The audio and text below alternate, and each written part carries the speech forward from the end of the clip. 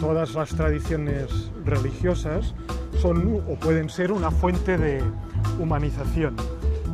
Son una fuente de problemas cuando se instrumentaliza y, y es muy común. Pero yo creo que las religiones todas ellas en el fondo quieren eh, o buscan el bienestar de las personas y una cierta armonía global. El diálogo está relacionado también con la identidad de cada confesión religiosa. ¿verdad? Se, se define el diálogo interreligioso como la armonía entre las religiones y por eso el diálogo interreligioso tiene que ser entre religiones, entre identidades. Pero además yo matizaría no solamente entre religiones, sino entre maneras de entender una misma religión.